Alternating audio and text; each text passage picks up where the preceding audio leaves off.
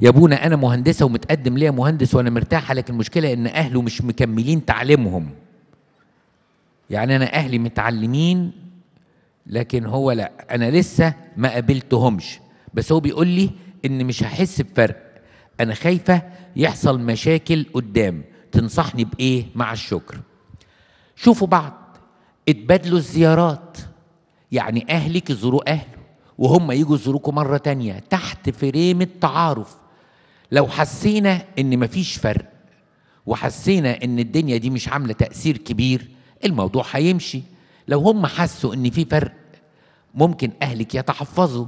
لكن ما تاخديش قرار من غير ما تدي نفسك فرصة إنك تشوفي علشان ما نضيعش فرصة ممكن يكون ربنا بعتها لنا